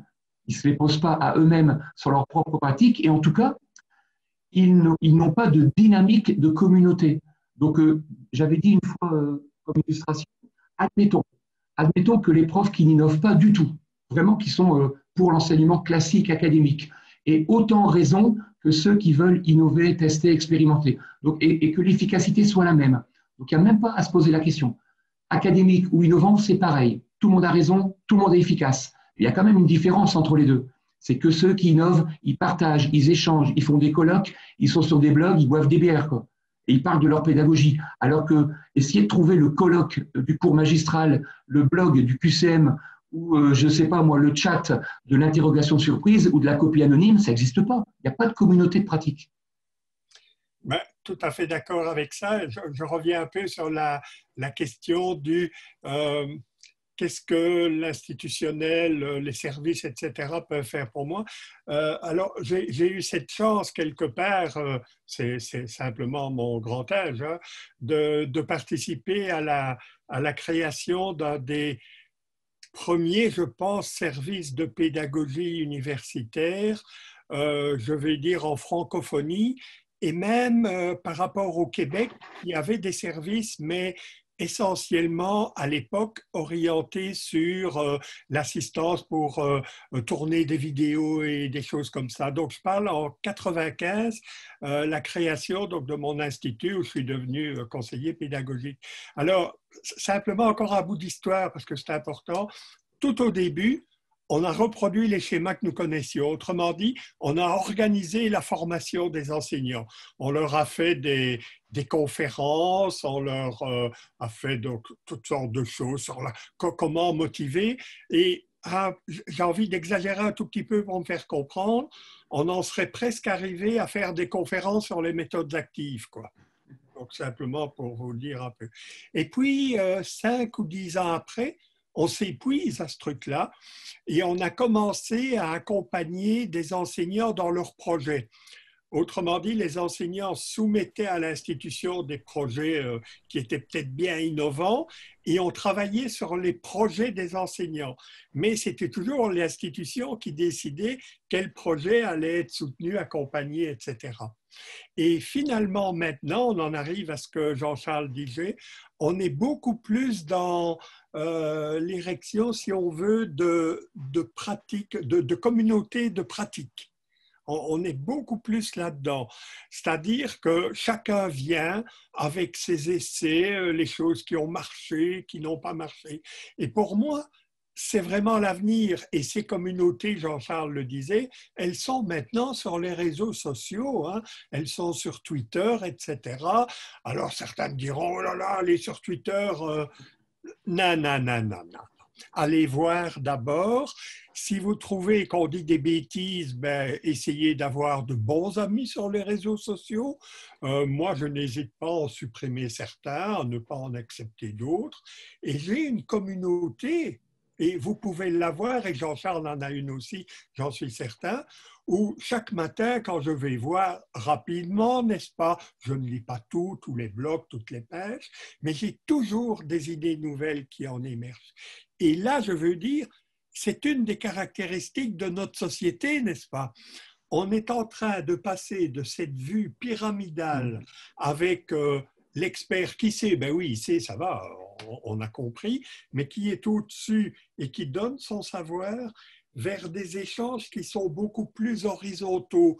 Le do it yourself, je le dis souvent avec un petit clin d'œil, mais je crois pas tant que ça, ça a commencé quand dans les stations-service, on a dit servez-vous vous-même. Et au début, on a dit, oh là là, on doit servir, mais enfin, où il est le service là-dedans Et puis finalement, il y a eu les banques Hein, il y a chez nous en Belgique euh, plus de guichets pratiquement, do it yourself. D'ailleurs, vous avez le web banking, etc. Et puis on a l'ubérisation hein, dont on a parlé, mais qui existe aussi. Euh, Autriche, hein, moi, je vais copier sur ce que Jean-Charles fait. Je dis, oh là là, quelle bonne idée. Et le mieux, c'est que je lui dise hein, que j'ai triché sur toi parce qu'il il est content finalement qu'on réexploite sa méthode. Et donc, on en est vraiment dans la mutualisation des pratiques. Et une fois que j'ai dit ça, j'ai envie de vous dire, certains vont croire que, bah oui, la formation euh, des enseignants, c'est pas utile. Non, non, non, non, non. Je n'ai pas dit que dans l'évolution que j'ai décrite, la formation, les projets, les communautés de pratique, ça voulait dire qu'on abandonnait les anciennes pratiques. Le numérique n'a pas enlevé la tradition orale, n'est-ce pas? Qu'est-ce que c'est de cette histoire Et Internet n'a pas encore enlevé euh, le, beau vieux bouquin qu'on va acheter, parce qu'il y a une odeur magique, évidemment, qui se, se développe autour du bouquin. Donc, en fait, on a des complémentarités, on a des hybridations qui sont en train de se faire je ne vais pas arrêter de le répéter, mais malgré tout, on se forme aussi au travers des communautés de pratique. Et si la classe inversée a tellement progressé aussi vite hein, entre 2012 et, 2020, mais c'est parce qu'il y a eu des associations comme le CLIC, hein, classe inversée, le congrès, qui se passe chaque année, qui s'est passé en ligne cette année, qui est essentiellement euh, française quelque part, qui en tout cas vient de, de collègues français, qui en 2015-2016, il y avait 200 participants. En 2017, je crois qu'ils étaient 80, Marcel. Euh, en 2015, leur premier congrès, ils étaient, ils étaient 80, hein, leur premier ah congrès. Mais en 2016, 200. exact. En 2019, ils étaient passés à 700-800. Et la dernière fois qu'ils y étaient, ben, ils étaient à environ 1000. Quoi. Donc, on se rend compte, et il y a très peu de conférences, ils n'organisent que des, ateliers, des camps d'exploration, comme on appelle ça dans certains contextes, où les enseignants viennent présenter ce qu'ils font, tout simplement. Euh, les experts sont là pour les aider un petit peu à modéliser, parce que la modélisation permet aussi le transfert. Et voilà, nous en sommes dans une société où euh, ben, les échanges deviennent de plus en plus horizontaux. Avec il y a Et puis il y, a tous les, il y a tous les niveaux hein, quand, quand, on fait ces, associations, mais on le voit aussi à la IPU euh, dont tu as été le président, hein, l'Association internationale de pédagogie universitaire. On a des variétés, on travaille sur des méthodes de collaborative, co-design, ça va, du, ça va du, de l'école primaire, euh, une fois j'ai envie de dire de la maternelle au doctorat, mais j'exclus la maternelle et le doctorat parce que là ça fonctionne. Mais ça va en tout cas du primaire au, des classes, primaires à l'université, hein. et indépendamment des matières. Donc, euh, un, prof, euh, un prof de maths à l'université peut être inspiré par, euh, par un instituteur, maître, professeur des écoles. Ça, pour moi, c'est quelque chose d'important. Hein. c'est que Et moi, je l'ai découvert, hein. ces méthodes, parfois on me dit oui, mais c'est pour les grands, hein, ceux qui ont déjà appris. Mais ce n'est pas vrai du tout. Oh La première fois que j'ai fait une conférence euh, sur les, les classes inversées. Je ne suis pas sûr qu'on appelait déjà ça tout à fait comme ça. Je crois qu'on utilisait encore l'acronyme anglais Flipped Classroom. Euh, je faisais ça, c'était à Reims. Il y avait devant moi des instituteurs, institutrices. Et je prenais beaucoup de précautions en disant, mais vous savez, c'est dans le supérieur, oulala, là là, et tout. On m'a demandé de témoigner, je viens témoigner et tout. J'avais beaucoup de, de craintes et de réserves. Et un instituteur est venu me trouver, je vous raconte vraiment euh, une expérience, il m'a dit, mais monsieur Lebrun, avec vos classes inversées, là, vous enfoncez des portes ouvertes, vous savez. Parce que nous, à l'école primaire, on fait ça depuis longtemps. Alors moi, je dis, oh là, quoi? Ben oui, qui dit, même au, primaire, au tout début, quand le vendredi, l'institutrice dit euh, à ses élèves, euh, ben, vous allez rentrer à la maison, alors demandez à vos parents, hein, mais essayez de découper dans des revues des, petites images d'animaux. Bon, voilà, les élèves font ça à distance, hein. ils préparent le cours à distance, et le lundi, ben, l'enseignante euh, essaie sur un tableau avec des, des post-it ou quoi de coller ce que les élèves ont ramené. Et évidemment, ils vont mettre les dauphins parmi les poissons, etc. Et vous avez compris, la classe, elle est démarrée avec ça pour classer les animaux. Et donc, s'ils mettent, les dauphins avec les poissons, ça, ça, leur fera un, bel exercice au départ. Je vois déjà. Tout à fait. Non, mais c'est intéressant parce que quand on leur fait faire ça aussi, moi, mes étudiants, il y a souvent des erreurs ou des. Et ben, moi, je les, gratifie. À chaque fois qu'un étudiant me, me, commence à m'expliquer un chromosome qui, est mal foutu, on ne le corrige pas. Hein.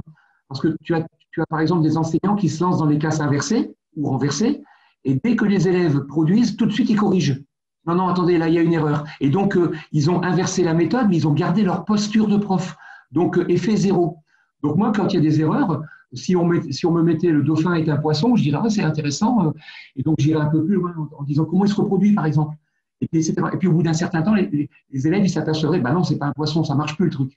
Et donc, de les amener dans la réflexion et de ne pas avoir la posture du prof qui corrigerait l'élève en lui disant, attends, attends ton exposé, mais moi déjà le dauphin dans les mammifères, et puis on va, après, on va après, on va parler des choses sérieuses. Non, non, non, il faut profiter des erreurs, parce que ça va ancrer euh, l'apprentissage. Il ne faut pas court-circuiter l'apprentissage. Tout à fait. Alors j'ai euh, également une question, euh, enfin qui rassemble différentes questions. Je voulais vous demander, d'après vous, d'où viennent euh, la majorité des, réticences en fait euh, à mettre en place ce type euh, d'innovation pédagogique. Certains dans, le chat ont évoqué la question de l'autorité du professeur, d'autres posent la question de l'évaluation. moi, pour le coup, vous m'aviez dit que j'avais le droit d'être un peu provocante. oui, provoquer, provoquer.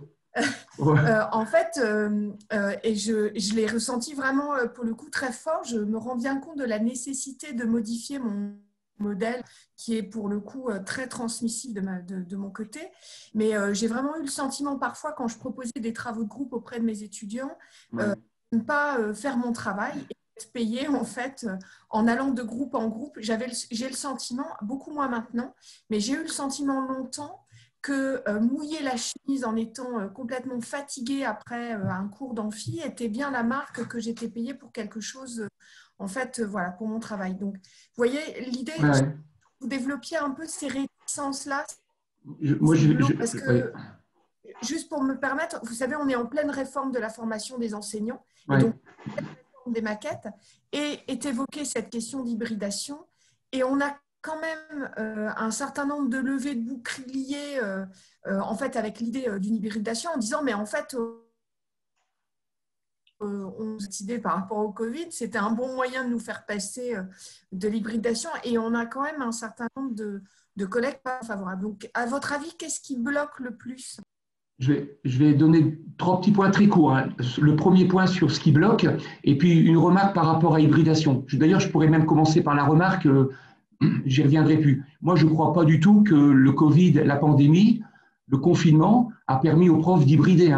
99% hein. des profs ont fait du dépannage et ils ont fait en ligne ce qu'ils font en présentiel parce qu'ils n'ont pas eu le temps. Donc aujourd'hui, il y en a beaucoup qui attendent de revenir à la situation normale et il y en a d'autres qui disent ah ben non, je vais continuer à hybrider, mais en fait à mettre des cours en ligne. Hybrider, c'est pas du tout répliquer ou transposer. Hein. Ça, c'est pas du tout hybrider. Aujourd'hui, par, dépannage, euh, hier je faisais cours, les étudiants étaient en ligne, ben, je leur ai fait un cours en ligne, un cours magistral en ligne. Mais ce n'était pas une hybridation, j'ai pas pu faire autrement. Sur la première partie, ce qui bloque, il y a des gens, il y a des gens, ça va bloquer, par exemple, un prof, il peut être bloqué dans l'innovation, il peut être aussi bloqué dans le cours, hein, et il peut aussi être bloqué dans l'évaluation. Parce qu'il y a des profs qui ont peur. C'est leur statut, euh, leur statut, la façon dont on les regarde. Euh, l'évaluation, par exemple, c'est amusant de voir l'évaluation. Hein. L'évaluation, si on vous demande, ça sert à quoi l'évaluation? Le prof, il y a des profs qui vont dire, ça sert à mesurer, évaluer. OK. L'élève, pas du tout. L'élève, c'est le but. Pour l'élève, l'évaluation, c'est le but, l'objectif. Donne-moi 20 sur 20, même si j'ai pas compris. C'est l'objectif. Pour les parents, c'est la sécurité, le contrôle. Ah, sécurité, contrôle. Et pour certains profs, c'est une façon de faire de l'autorité. Attention, hein, euh, je peux te mettre un zéro, te retirer des points. Donc l'évaluation, si c'est pris par le prof comme un moyen de faire de l'autorité, ben, il ne va pas vouloir euh, euh, innover en disant, en disant il n'y a plus de notes. Il y a même des gens qui sont capables de noter sans évaluer. Ils vont mettre un zéro pour une absence, ça fait baisser la moyenne, et ils ont transformé une punition dans quelque chose qui fait baisser la moyenne. Ça, c'est pour l'évaluation. Et très court aussi pour l'enseignement, la transmission, moi je remarque, mais c'est juste une observation, je remarque que les profs qui osent le plus innover, qui vont le plus loin dans les expérimentations, c'est presque toujours des profs qui connaissent leur matière, qui aiment enseigner de manière magistrale. D'ailleurs, ça leur pose pas, ça leur pose aucun problème quand les élèves disent attendez monsieur c'est trop compliqué, refaites-nous 20 minutes de magistral. Ils aiment le faire et ils le font souvent parce qu'ils aimeraient que tous leurs élèves participent. Alors que des profs qui dominent pas leur matière, qui sont plus inconforts ou qui disent au secours, au secours, je m'en sors plus, je sais plus les motiver ou les faire travailler et qui vont frapper à la porte de l'innovation, ben, l'innovation, elle les enfonce encore plus. Parce qu'un prof qui est complètement perdu dans son cours classique, si vous lui rajoutez de la plateforme, du Google, du, du Moodle, du, du WooClap et du machin, mais vous le tuez. Et donc, il euh, ne faut pas opposer, euh, c'est ce que je remarque, hein, ce n'est pas, pas de la recherche scientifique, c'est de l'observation de terrain. Oui, moi je suis assez d'accord avec ça. En particulier, euh, j'ai mis un, doigt comme ça parce que c'est exactement euh, ce que moi j'ai vécu. J'ai eu cette impression de, à un moment donné, de, ne plus faire mon, boulot, de, ne plus donner mon cours. Et d'ailleurs, euh, je, dois vous dire que c'était aussi, j'ai bien utilisé le passé, c'était aussi euh, une perception des étudiants. Euh, déjà en 1900, avant 1995, je faisais des groupes avec des étudiants qui devaient préparer des sujets. Et donc, comme on n'avait pas les outils de la distance, mon temps d'amphi, ben, les étudiants avaient du temps pour se mettre en groupe et préparer le coup, si vous voulez, pour la semaine suivante où ils devaient présenter quelque chose. Et j'ai eu, je, vous le dis, réellement, j'ai eu des plaintes qui ont été adressées par les étudiants aux doyens de ma faculté qui m'a appelé évidemment en disant Mais Marcel, qu'est-ce qui se passe dans ton cours? J'ai eu des plaintes d'étudiants. Chez nous, on a des comités d'année, hein, des, donc des, moments où les étudiants peuvent venir euh, qualifier. Je parle d'évaluation qualitative, etc. Et euh, ben oui, c'était Mais qu'est-ce qui se passe? On me dit que tu ne donnes plus ton cours. J'étais appelé chez le doyen en 95. Euh, je lui ai expliqué, il m'a dit ah mon Dieu, mais c'est vraiment très bien, euh, j'ai compris, écoute, continue comme ça, il n'y a aucun souci, etc., etc. Et donc, c'est pour vous dire que cette posture du euh, sage on the stage, hein, le, sage sur l'estrade, elle nous accompagne là et elle est, elle est très présente. Mais euh, c'est mon caractère peut-être, je ne me suis pas trop retourné avec ça. Euh, j'ai maintenant, euh, j'avais, puisque je suis devenu émérite, mais mes cours qui étaient intégralement faits en, méthode inversée, avec des, techniques, pas autant que Jean-Charles évidemment, mais voilà, avec des étudiants qui, qui venaient prendre des photos de ce qu'ils avaient fait, etc., qui les publiaient sur Twitter. Je pense, écoutez bien, déjà cette fois-ci, en, je crois que c'était 82, il y avait à l'époque, non pas, on ne parlait pas encore de méthodes actives, mais on parlait beaucoup de l'ordinateur au service de l'éducation.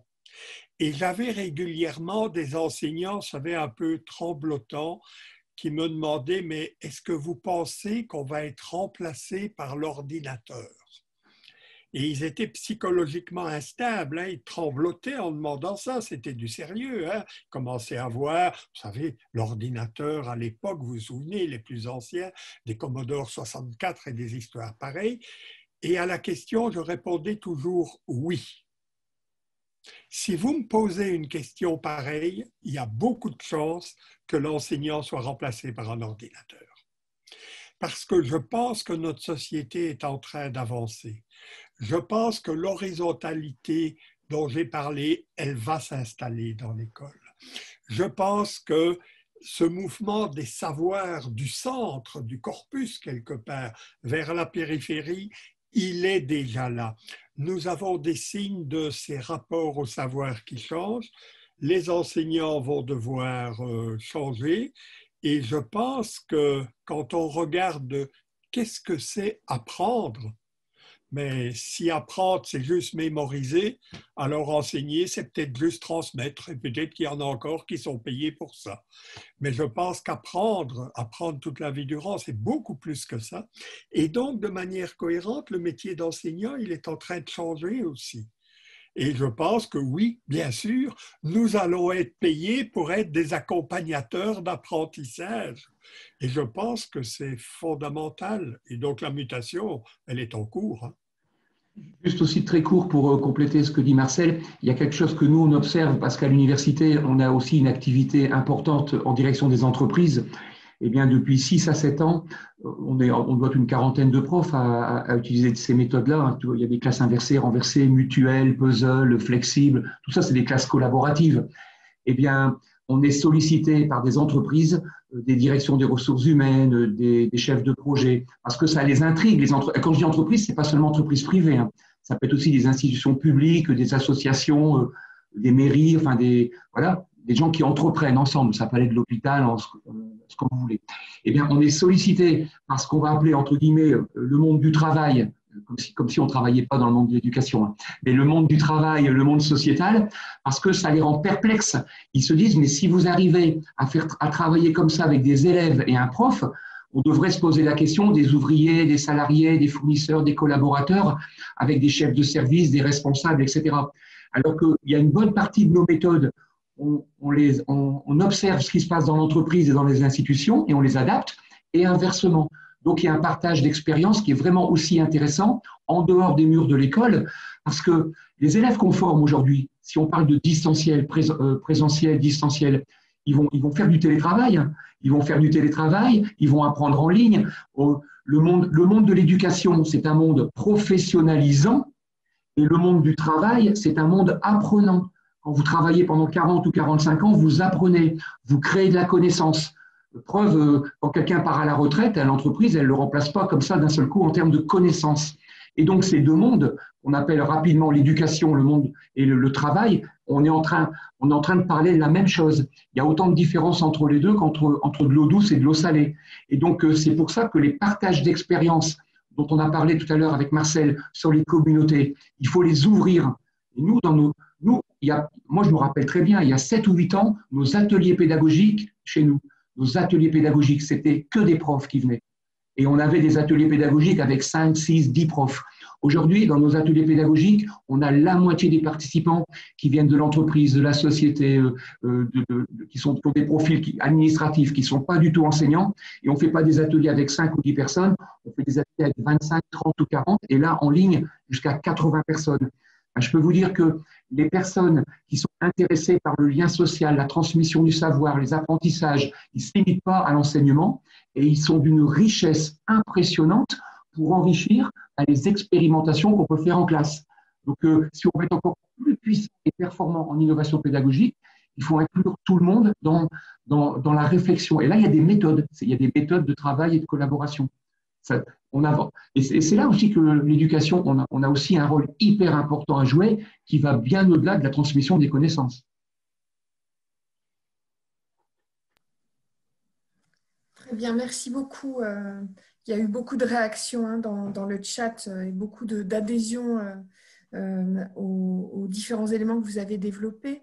il reste encore une question, mais peut-être que certains auront encore des questions. Là, sur un élément, euh, en fait, pour aller plus loin, euh, euh, est-ce que vous pourriez conseiller des blogs pour justement, du, pour le public, pour, pour aller plus loin? Est-ce que vous en avez, ou est-ce que vous pouvez nous en transférer et puis qu'on donnera après, comme, comme vous souhaitez Je ne sais pas si c'est disponible pour vous, facile d'accès.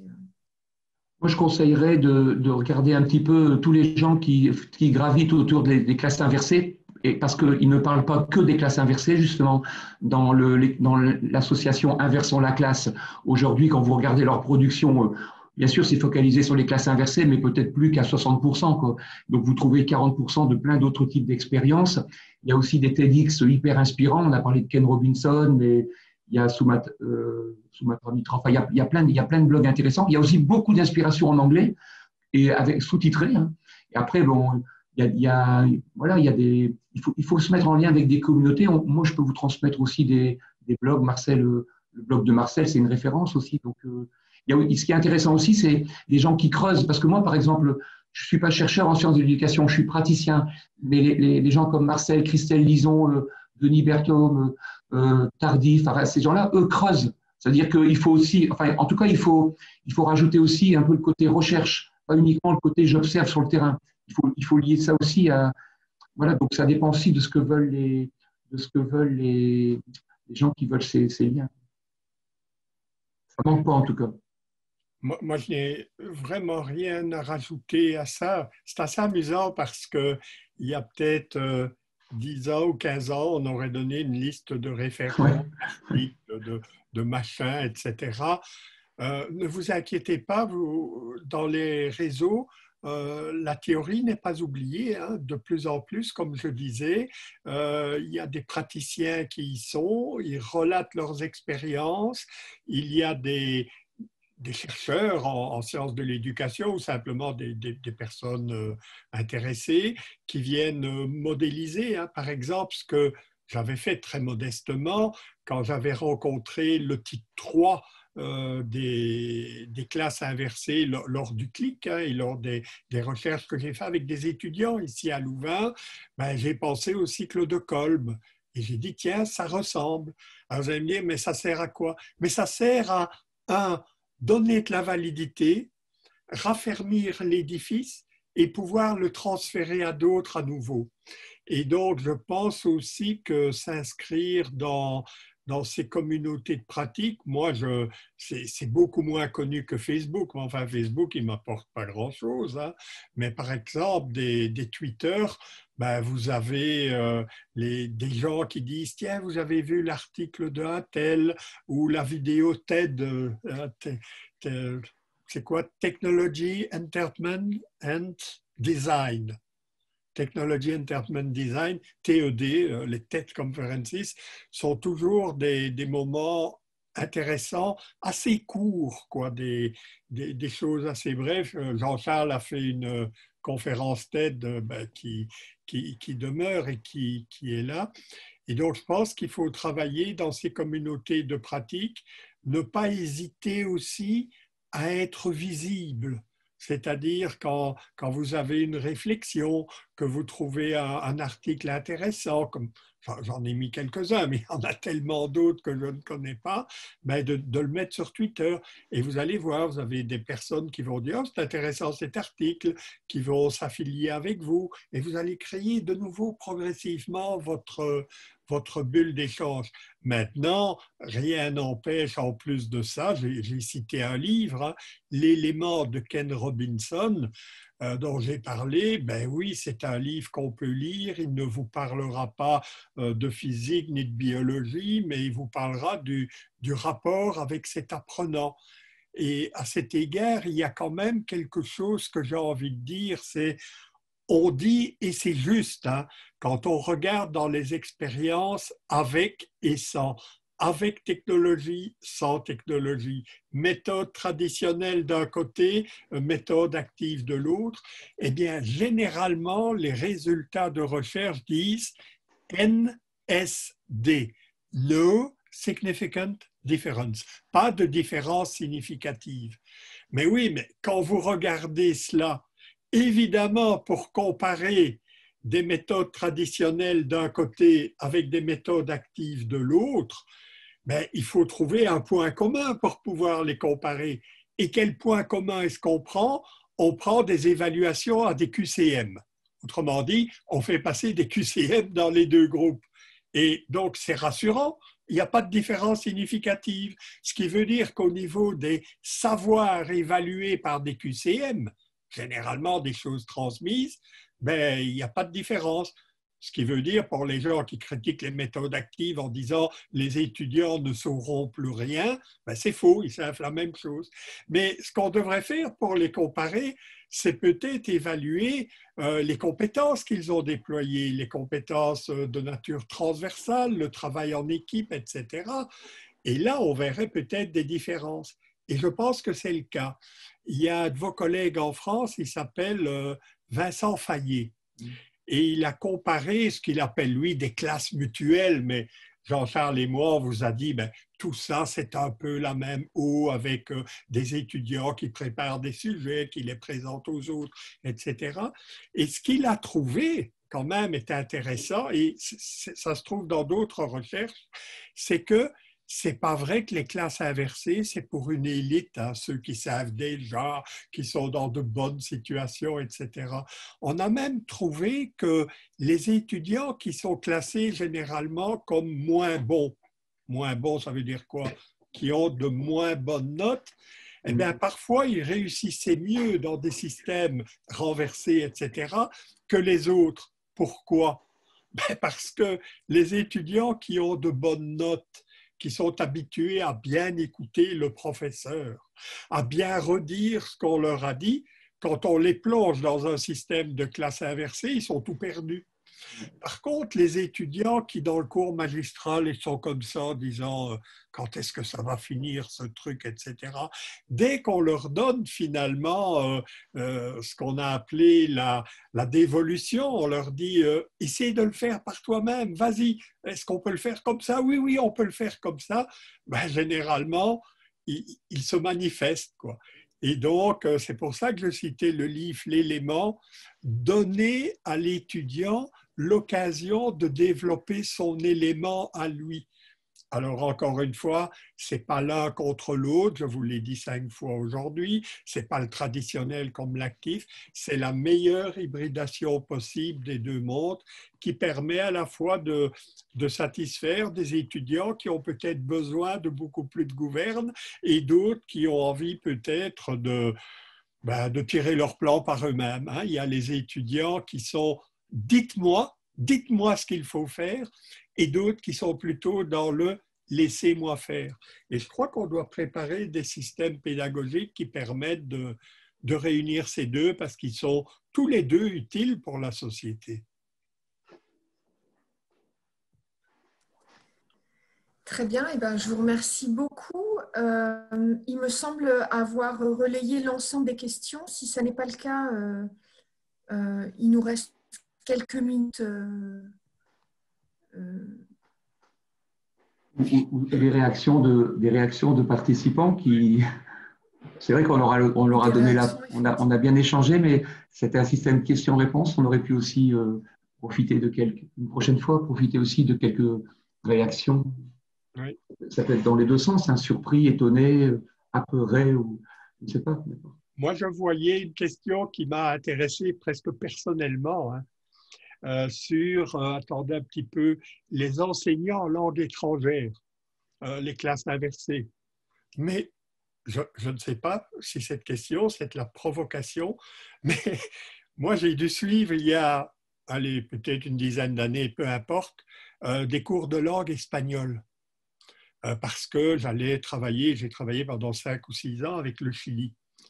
Et j'ai été étonné, ça, remonte, hein, on ne parlait pas des classes inversées, mais l'enseignante en, espagnol, elle ne faisait que ça, des classes inversées.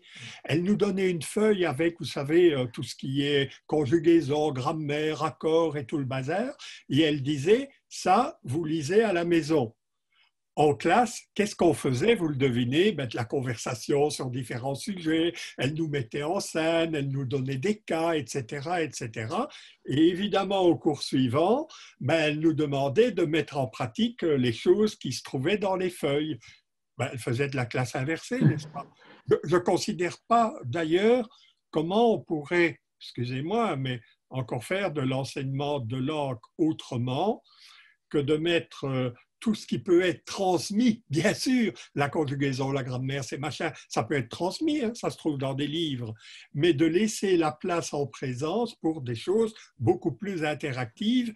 Et ça m'a sauvé parce que quand j'ai été au Chili, on m'a pas demandé si je connaissais la grammaire, hein. on m'a pas demandé la conjugaison, on m'a demandé d'être compris.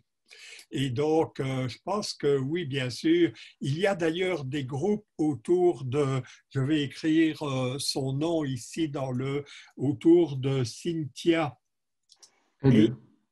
qui est la, la, présidente, je crois, de l'association des, cette fois-ci, c'est les profs de français langue étrangère mm. et qui a, elle, développé un livre sur les classes inversées, mais plus spécifiquement, je dirais, pour l'enseignement des langues. Elle a développé ça avec euh, Cynthia Haid, donc a développé ça avec Marc Odou, Philippe Léria, etc. Et donc oui, bien sûr, ça peut se faire dans les langues, surtout, je dirais. Il n'y a, qu'un seul endroit où, les profs n'osent pas faire de la classe renversée, c'est dans le sport. Parce que le prof de sport, il n'a pas envie que tous ses élèves soient assis et que lui, le prof, il soit le seul à courir, tu vois. Euh, oui, mais les élèves, moi je connais un cours où on le faisait quand même. Euh, le prof disait, euh, voilà, en dehors du cours, quand ils vont s'entraîner, tu sais, sur les bras, ou alors taper la balle au tennis, etc., ils devaient se filmer en train de... Ah, exact. Et alors, il réexploitait les vidéos pendant son cours. Pour les gestes techniques. Là, le mouvement, etc. Oui, on peut le faire aussi, mais évidemment, il n'a pas envie de, voir des élèves qui passent tout le temps devant les écrans. Hein. Mais là, il tenait la caméra tout en courant, tu te rends compte euh. Marcel, euh, du coup, est-ce que tu peux envoyer la référence euh, de la prof de FLE si tu l'as? Oui, Cynthia Aide, oui. Ben, je dirais en. C'est facile de la trouver. Je vais, mettre son nom. Euh, il a mis. Voilà. Ben, oui, il a dû mettre Cynthia Aide, E-I-D. Si vous, si vous tapez son nom, vous allez la trouver très facilement. D'accord. Vous, savez, ce n'est pas pour, euh, comment dire, euh, surtout pas. Hein. Oui, Cynthia Aide, c'est écrit. Voilà, je vais mettre la référence de son livre. Mais si vous saviez, dans un cours de classe renversée, combien de fois les étudiants m'ont demandé la référence de, j'avais cité Vygotsky, etc. Et je leur disais, euh, oh, je ne pourrais pas vous dire, mais tapez Vygotsky collaboratif dans Google et il va vous le dire. Et c'est ce que je viens de faire pour Cynthia Haid, classe inversée. Et vous avez vu, voilà, j'ai la référence du livre de Cynthia Haid. Donc ça doit devenir un réflexe. Michel Serres disait, nous n'avons pas le cerveau vide, mais libre. Nous devons avoir le réflexe quand nous ne savons pas, et de manière validée, hein, en faisant aller notre esprit critique et tout. Mais ici, quand c'est la référence d'un bouquin, ben oui, Cynthia Haid, inversé dans Google, et vous l'avez, quoi. Très bien. Eh ben, on arrive au terme euh, euh, de cette matinée. Euh, je me joins aux commentaires élogieux du chat, euh, j'ai trouvé ça euh, formidable, je vous le dis, voilà, comme souvent dans les conférences, mais pour le coup, c'était vraiment très, très bien, très stimulant. Donc, je vous remercie beaucoup tous les deux d'avoir accepté Merci à vous. à notre cycle de conférence.